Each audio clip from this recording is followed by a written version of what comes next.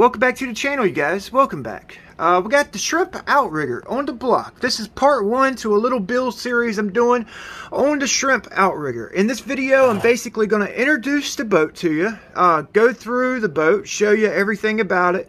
I've got a few clips of the build process. I'll show you guys kind of how it was constructed. And uh, today we're actually going to install, I'll show you guys how to install this wire steering linkage all right? It's a three part steering linkage and it's freaking awesome you guys. Uh, so we'll basically be installing the rudder making the steering linkage and going through and basically showing you guys the boat thus far. Uh, so stick around stick around. You guys might as well. You're here you're here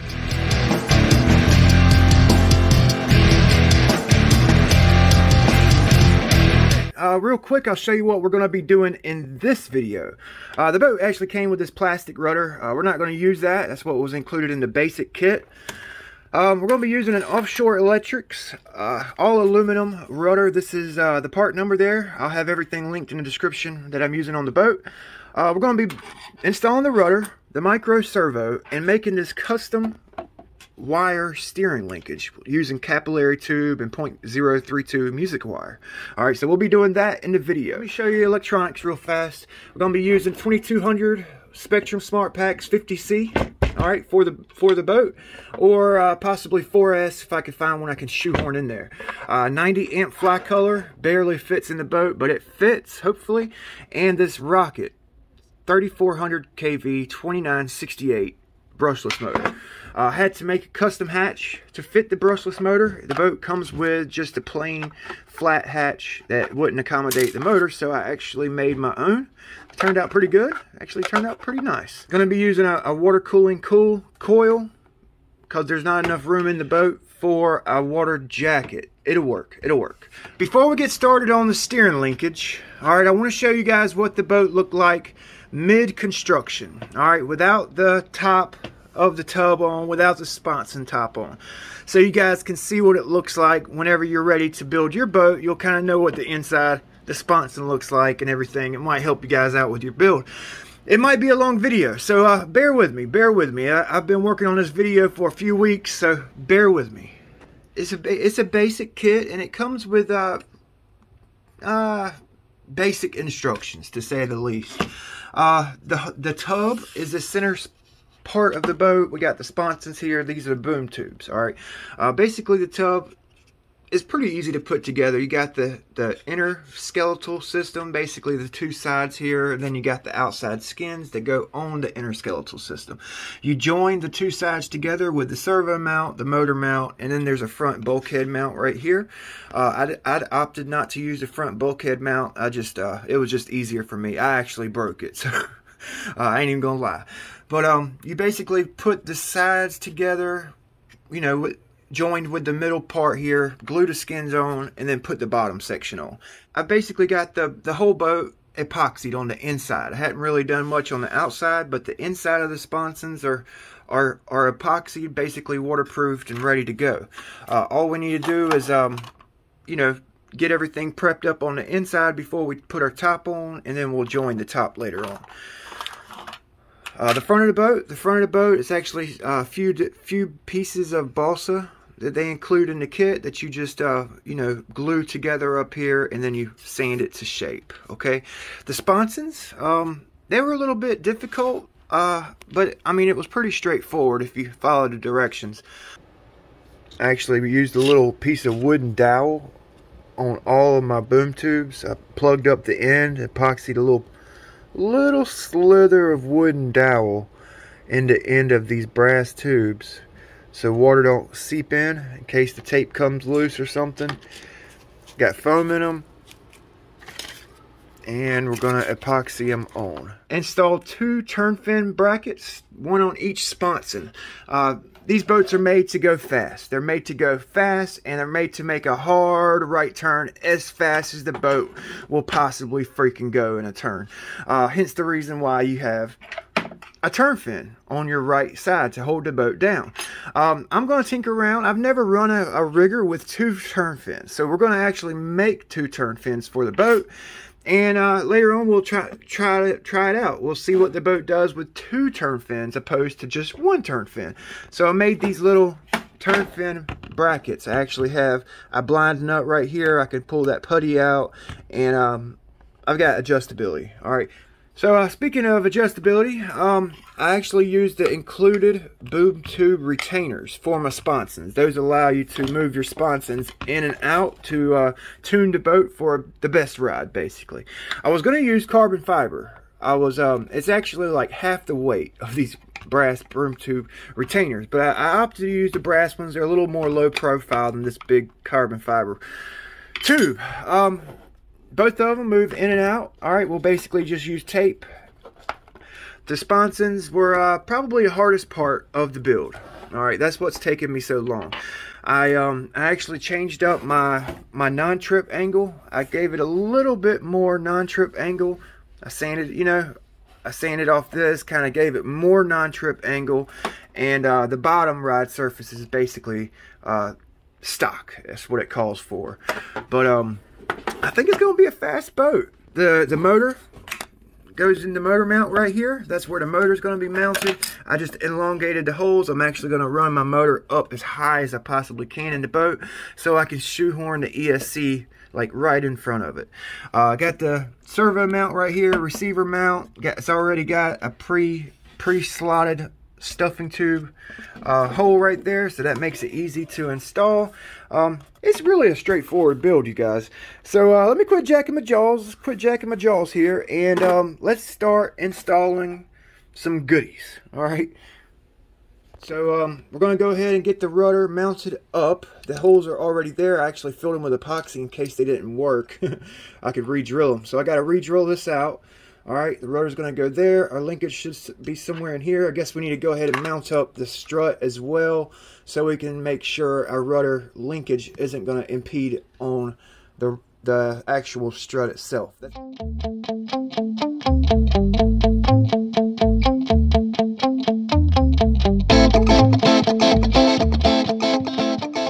drilled them a little tight so I could screw my screws in. I don't have to use nuts while I'm setting it up. I can pull hardware, put it back on real easy. Uh, the first thing I do once I actually get my hardware on my boat is the first thing I do is put my, my shaft in if I can, put my propeller on and check, make sure we're not going to hit the propeller and a full throw on the rudder. All right, that's like one of the main things you need to look out for when you're building a boat, installing hardware, like a custom type build. Make sure you're going to have enough room for big diameter props or pitchy props. Usually a pitchy prop will actually have a longer hub, so you have to take that into consideration. Okay, uh, not going to be making a whole lot of left turns with this boat. You know, possibly, possibly will with our turn fins, uh, with two turn fins on the boat. So we possibly will be making left turns, but we won't need full left rudder like that. So I think we're going to be good, even with a, a bigger, pitchier propeller. It's going to be cutting it close. But so you got your drive dog. This is a 630. So it's actually kind of pitchy. Um, I'm actually going to move my rudder bracket this bracket right here, the rudder's held on by, over to the other side. Alright, I think that'll give me more options for prop choice. So we're going to have to flip that the bracket over. Alright, so you guys see how it's made here. Okay, so I actually need to pull the pin out and flip this bracket over. Alright, so do a little flip. Put our pin back in. Boom. Now we screw all of our hardware in from the opposite side.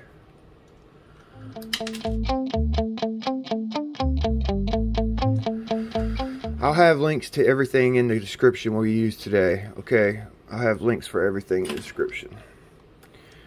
So I like to run my screws like this if I can, you know.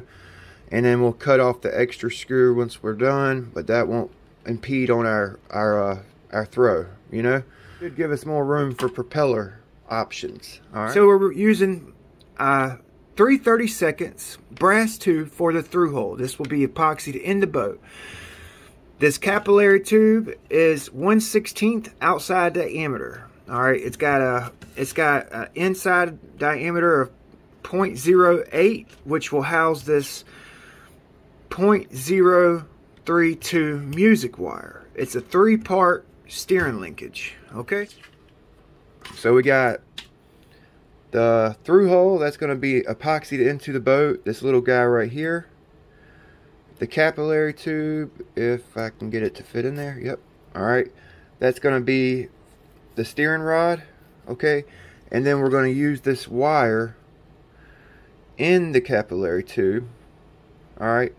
And that will attach to the servo and the rudder. That will give us some bend, some flex. All right and uh, it's stainless steel so it's very stiff it'll be it'll be rigid rigid enough for this boat right here anyway all right so um, we need to figure out where we're going to drill the hole so what I like to do is basically I got my servo in I got my my rudder on here and we're just gonna basically use a, a wire to kind of eye it um, I like to on these smaller servos, I don't like to run my my linkage all the way out at the end.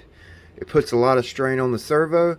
So if you run your linkage a little bit closer to the center line on your servo arm, it will actually reduce the strain on the servo and uh, servo will last longer basically. What I've noticed anyway. Alright, so that looks good right there. I'm to epoxy that in. Alright.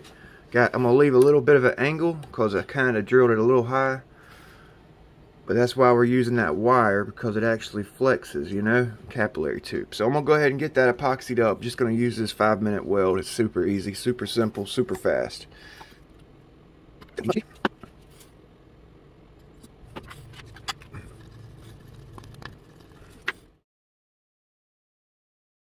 This Fun-Tak right here in my little brass tube so I don't get epoxy in there. Alright, you see that? Just put a little bit in my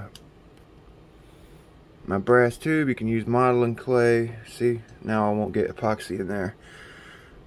And it'll just push right through when we're ready. So let's get us a little bit of epoxy on here. Hopefully you guys can see. A little bit of epoxy. Boom, boom, boom.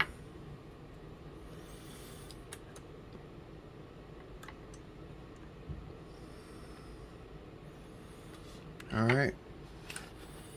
See that? And I'm actually going to push this all the way in because I don't want none of my brass tubes sticking out. Well, maybe a little bit. Not much. And then I'm going to go crazy with the epoxy on the inside and leave my boat sitting up like this.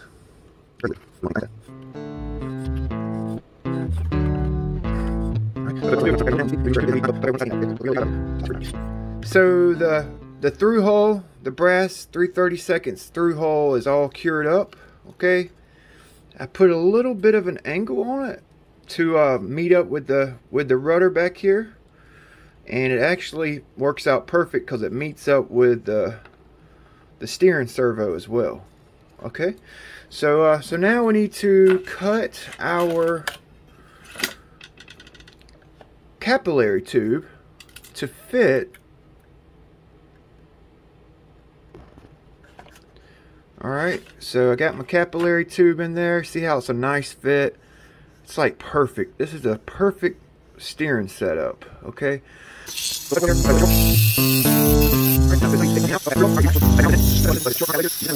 Alright, so you can see what I got going on here. I got a little piece for the end that's going to go into the easy connector right here so it cinches down nice on our on our uh, steering linkage. Okay, then I got me another piece of capillary tube that's going to go through the hole and then this side right here will have a Z-bend on it for the servo. Alright, so it basically going to go through through the hole here. This is going to cinch down on the on the on the rudder. Easy connector. I got me a little a little run of just music wire for uh, for like a shock absorber. You know, it's actually got some flex. If we hit something with the rudder, it'll or it jerks the rudder out. We got a little bit of flex there. It'll also aid in in the bend when we got full rudder, which we wouldn't have that much rudder. You know, this boat's not going to need that much input to turn. Final answer, final answer here. All right, that's basically what it's going to look like. All right, final answer. So let's pull this out and red Loctite it. Oh, that's way too freaking much. Damn, that's a waste. Alright, so we're just going to put some Loctite on here. Okay, just going to slide it back. Put a little bit of Loctite on. Okay, then I'm going to slide it. Put some Loctite on this side. Slide it back and forth there. Capillary tube for the end. You got to work fast. This stuff will dry quick on you. Alright, make sure it's in the right spot. That looks pretty good right there. Yep. Alright, get a little bit more on it. Once this dries, it's permanent. Like I said, you can use green if you want. That's it. That's her. That, that'll give us a little bit of flex. Alright, and then we'll put our Z-bend up here. Alright, so I got my, my controller on. Okay, my my arm is basically where I want it to be to be at. I uh, got my my rudder in a in a a straight position in line with the tub of the boat. That's basically where I want to run it. That'll give me some adjustability forward and back. Okay. Um, got a magic marker here. We're to mark out where I need to bend. Okay, so I got it centered here rudder centered, double check, get one chance at bending. So I need to put my bend right, right where this mark is, okay? So I'm gonna pull this guy here out. This is an awesome freaking steering linkage setup, you guys, I'm telling you. I'm telling you, you, you won't go, you won't regret going this route. Trust me. All right, where's my mark? Okay, so my mark's right here.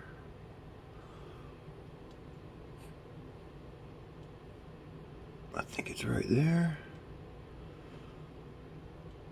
Alright, so I put my L bend in. Let's check it before I make my final bend. So yeah, yeah, that's perfect. Go ahead and do the final bend here. It's a Z bend. Alright, right there. And then just bend that guy there over. Boom. Alright, let's cut off the extra.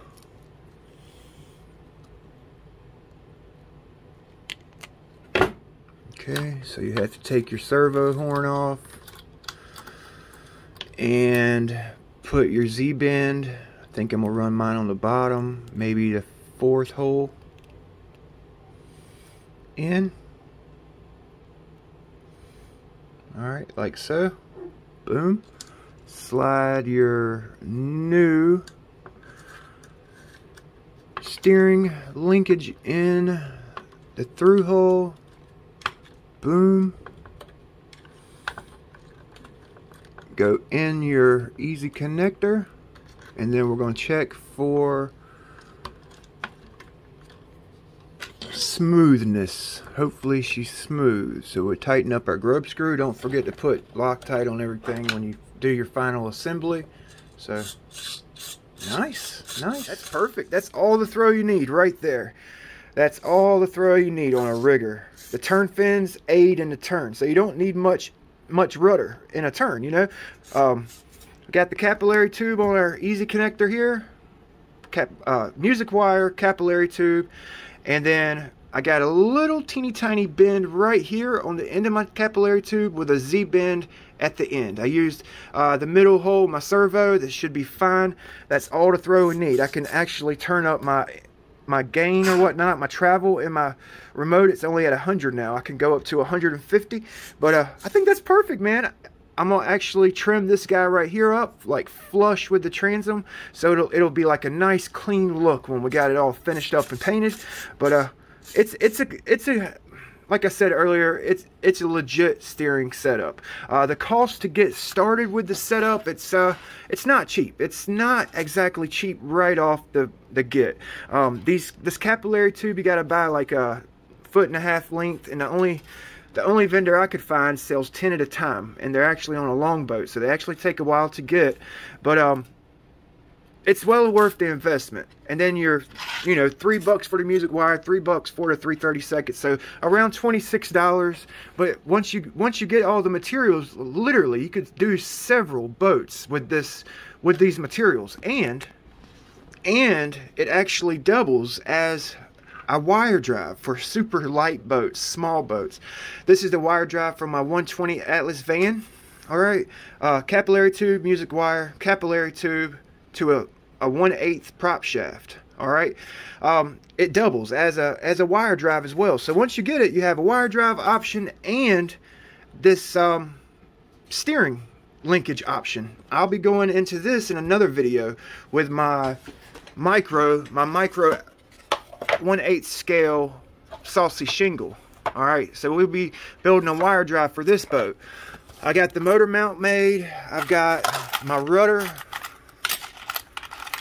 my rudder made for the boat. Okay, I had to do a different style bracket so it sits on the transom vertically instead of horizontally.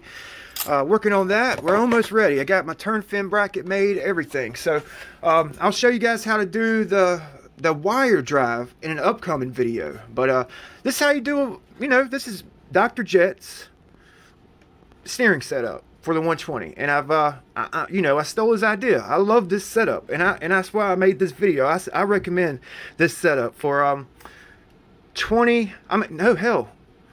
Hell 12 12 inch to about 24 inch boats. You know 24 inch would be pushing it with this setup. So micro mini boats. The second part of the build series with this this the shrimp outrigger we're going to do electronics and work on some odd and end things See you next time. Thanks for watching. Big B with Ironclad RC, channel where we tinker, test, and build RC boats.